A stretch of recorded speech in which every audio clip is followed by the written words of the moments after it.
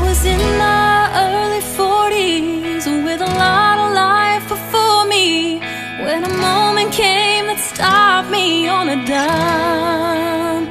I spent most of the next day.